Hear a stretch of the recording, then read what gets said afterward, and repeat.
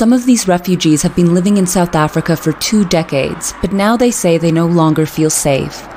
Most are from the Democratic Republic of Congo, where they escaped war. But increasingly, they said they've had their small businesses looted, homes robbed, and have been personally attacked amid growing waves of xenophobia. We ran away from our country, running from tribulations.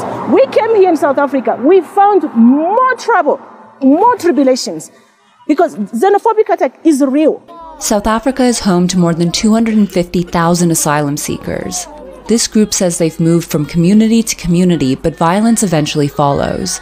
They're now asking the United Nations Refugee Agency to move them to a safe third country. Any place that they can take us, that's where we can be safe with our families. We can live and move on with our lives so that our children can go to school. Xenophobic violence has become increasingly pronounced in South Africa, with bursts of riots and murder since 2008. Earlier this year, amid a wave of anti migrant marches, a Zimbabwean man was killed in a Johannesburg township, authorities say, because of his nationality.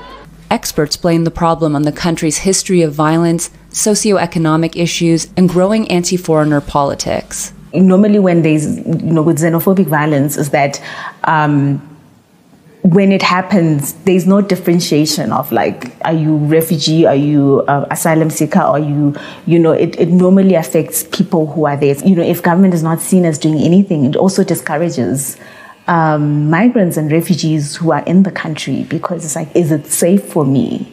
Resettlement is not an option for most refugees. The UN Refugee Agency, UNHCR, says only 1% of refugees globally are moved from one host country to another for exceptional circumstances.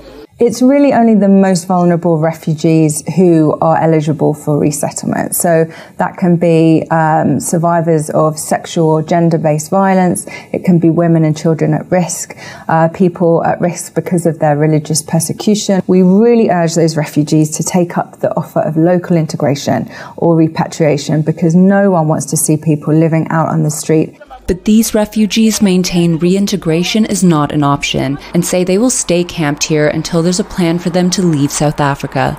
Linda Givetash for VOA News, Pretoria.